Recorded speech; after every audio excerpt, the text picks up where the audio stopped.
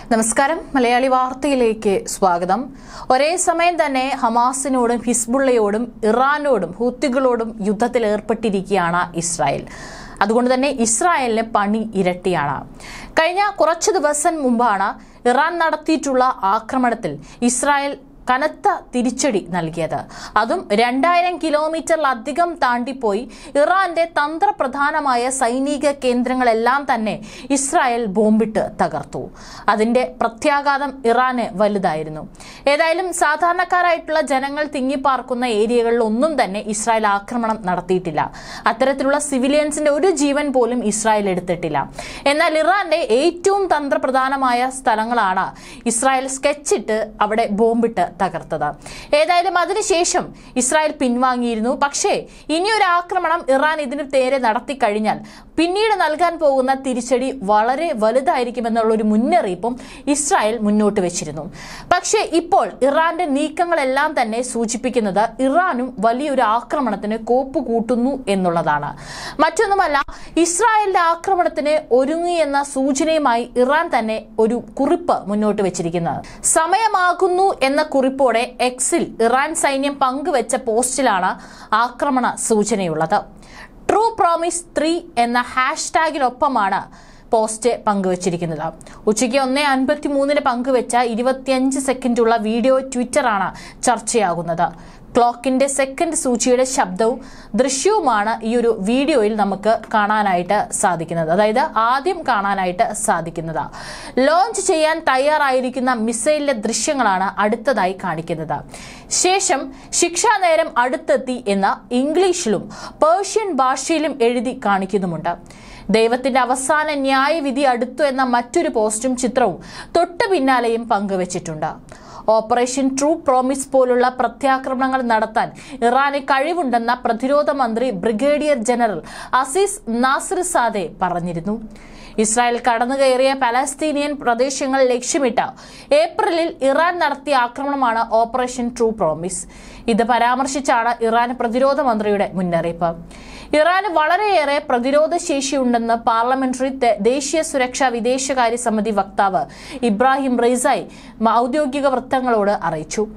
ആക്രമണം ഉടൻ ഉണ്ടാകുമെന്ന സൂചന നൽകി ദൈവശിക്ഷ അടുത്തു എന്ന തലക്കെട്ടോടെ മറ്റൊരു പോസ്റ്റും ഇറാൻ സൈന്യം പുറത്തുവിട്ടിട്ടുണ്ട്. ശരിയായ സമയത്ത് ഇസ്രായേലിന് തിരിച്ചടി നൽകുമെന്ന് ഇറാൻ വിദേശകാര്യമന്ത്രി അബ്ബാസ് അരാക്ചിയും പ്രതികരിച്ചു. ട്രോ പ്രോമിസിന്റെ നാൾ വഴികൾ ഇപ്രകാരമാണ്. ഏപ്രിൽ ഒന്ന് സിറിയയുടെ തലസ്ഥാനമായ ഡമാസ്കസിലെ ഇറാൻ കോൺസുലേറ്റ് ഇസ്രായേൽ വ്യോമാക്രമണത്തിൽ തകർത്തു. Iran revolutionary guard commander Mohammad Reza Zahedi ഉൾപ്പെടെ പതിമൂന്ന് പേർ കൊല്ലപ്പെട്ടു. രണ്ട് ഏപ്രിൽ പതിമൂന്നിന് ഇസ്രായേലിൽ ഇറാന്റെ വ്യോമാക്രമണം. ഇസ്രായേൽ പ്രകോപനത്തിന് തിരിച്ചടി നൽകുമെന്ന് ഇറാൻ പരമോന്നത നേതാവ് അയിത്തുള്ള അലി ഖമിനെയി പ്രതിജ്ഞയെടുത്തിരുന്നു അതിനാൽ ദൌത്യത്തിന് ഓപ്പറേഷൻ ട്രൂ പ്രോമിസ് എന്ന് പേരിട്ടു. തൊണ്ണൂറ്റൊമ്പത് ശതമാനം ഡ്രോണുകളും മിസൈലുകളും ഇസ്രായേൽ ഏപ്രിൽ പത്തൊൻപത് ഇറാനിൽ ഇസ്രായേൽ ഡ്രോൺ ആക്രമണം. ആക്രമണം നടത്തിയെന്ന് ഇസ്രായേലോ ഇസ്രായേലാണ് പിന്നിലെന്ന് ഇറാനോ പ്രതികരിച്ചില്ല. അടുത്തത് ജൂലൈ മുപ്പത്തിയൊന്നിന് ഹമാസ് തലവൻ ഇസ്മയിൽ ഹനിയെ ടെഹ്റാനിലെ വ്യോമാക്രമണത്തിൽ ഇസ്രായേൽ വധിച്ചു. ഒക്ടോബർ ഒന്നിന് ടെല്ലാവീവിന് നേരെ ഇറാന്റെ ബാലിസ്റ്റിക് മിസൈൽ ആക്രമണം. ഇതെല്ലാം ഓപ്പറേഷൻ ട്രൂ പ്രോമിസ്. ആളഭയമില്ല. ആറ് ഒക്ടോബർ ഇരുപത്തിയാറ് ഇറാനിൽ ഇസ്രായേൽ വ്യോമാക്രമണം. അഞ്ച് മരണം. ഇസ്രായേലിനെതിരായ മൂന്നാം ആക്രമണത്തിന് സമയമായെന്ന സൂചനയാണ് ഏതായാലും ഇറാൻ സൈന്യം ഇപ്പോൾ പങ്കുവച്ചിരിക്കുന്നതെന്നാണ് വിലയിരുത്തലുകൾ. നേരത്തെ ഇസ്രായേലിനെതിരെ ഇറാൻ രണ്ട് ആക്രമണങ്ങൾ നടത്തിയിരുന്നു. ഇതിന് പിന്നാലെയാണ് കഴിഞ്ഞ ശനിയാഴ്ച ഇസ്രായേൽ ഇറാനെതിരെ വ്യോമാക്രമണം നടത്തിയത്. ഇതിനുള്ള കനത്ത തിരിച്ചടിയായിരിക്കും മൂന്നാം ആക്രമണം എന്ന സൂചനയാണ് ഇറാൻ സൈന്യം വീഡിയോ ട്വിറ്ററിലൂടെ നൽകിയിരിക്കുന്നതെന്നാണ് വിലയിരുത്തൽ. എന്നാൽ ഇക്കാര്യത്തിൽ ഇറാൻ ഔദ്യോഗിക സ്ഥിരീകരണമൊന്നും നടത്തിയിട്ടില്ല. അതേസമയം ഇറാൻ ഇസ്രായേൽ സംഘർഷ ഭീതി മൂലം പശ്ചിമേഷ്യ ആകെ മുൾമുനയിൽ നിൽക്കെ ഇറാന് ശക്തമായ മുന്നറിയിപ്പുമായി ഇസ്രായേൽ സൈനിക തലവനും രംഗത്ത് വന്നു. ലഫ്റ്റനന്റ് ജനറൽ ഹേഴ്സി ഹലേവിയാണ് രൂക്ഷമായ ഭാഷയിൽ ഇറാന് കടുത്ത മുന്നറിയിപ്പുമായി രംഗത്തെത്തിയത്.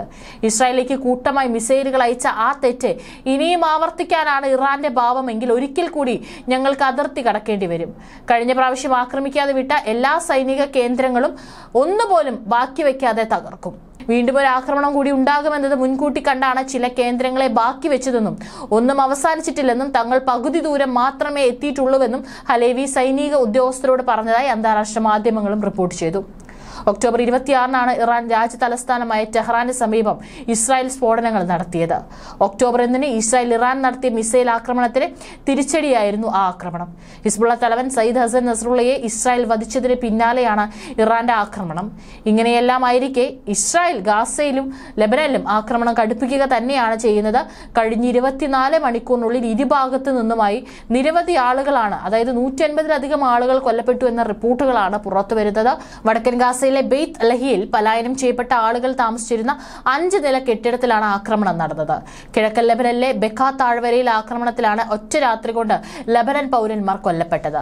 അമ്പത്തിയെട്ട് പേർക്ക് പരിക്കേറ്റു. അതേസമയം വെടിനിർത്തലിലെ ദോഹയിൽ യു എസ് ഈജിപ്ത് ഖത്തർ മധ്യസ്ഥതയിൽ ചർച്ചകൾ തുടരുകയാണ്. തടവുകാരെയും ബന്ദികളെയും കൈമാറാൻ ആദ്യം രണ്ട് ദിവസത്തെ വെടിനിർത്തലും പത്ത് ദിവസത്തിനകം സ്ഥിരം വെടിനിർത്തലുമാണ് ഈജിപ്ത് ശുപാർശ ചെയ്യുന്നത്. കഴിഞ്ഞ ഇരുപത്തിനാല് മണിക്കൂറിനിടെ ഗാസയിൽ അൻപത് പേർ കൊല്ലപ്പെട്ടു. രണ്ടായിരത്തി ഇരുപത്തിമൂന്ന് ഒക്ടോബർ ഏഴിന് ശേഷം ഇസ്രായേൽ ആക്രമണങ്ങളിൽ ഗാസയിൽ നാൽപ്പത്തി മൂവായിരത്തി ഇരുപത് പലസ്തീനികളാണ് കൊല്ലപ്പെട്ടത്. ഒരു ലക്ഷത്തിലധികം ആളുകളാണ് ഗുരുതരമായ പരിക്കുകളുമായി ജീവിതത്തോട് മല്ലിടുന്നത് ഏതായാലും ഈ ഒരു സംഖ്യയെല്ലാം ഇനിയും വർദ്ധിക്കുമെന്നുള്ള സൂചന തന്നെയാണ് ഇപ്പോൾ ഇറാന്റെ ഈ ഒരു മുന്നറിയിപ്പ് വരുന്നതോട് കൂടിയിട്ടും ഇസ്രായേലിലെ വെല്ലുവിളി തുടരുന്നതോട് കൂടിയിട്ടും നമുക്ക് മനസ്സിലാക്കാനായിട്ട് സാധിക്കുന്നത്.